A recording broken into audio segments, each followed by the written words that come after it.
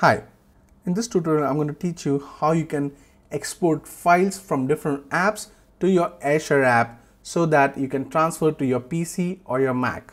So let's go ahead and open the Files app. Once you open the File app, you can see here that there is a sample PDF file. All you need to do is tap and hold the PDF file and you can see a list of different operations you can do.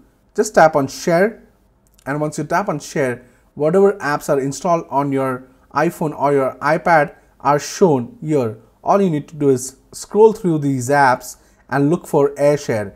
Once you tap on AirShare, the file will automatically get transferred to your AirShare app.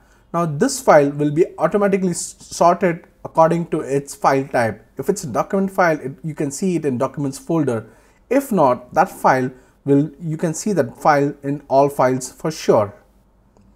As you can see, the, this file has been transferred successfully to the AirShare app. Now you need to go to the web browser to download the file. Once you have imported the file from a different app to your AirShare app, all you need to do is go to the web browser and download the file. So let's go ahead and tap on the documents folder and you can see the file out here. Just select the file and tap on the download arrow. The file will get downloaded as you can see here.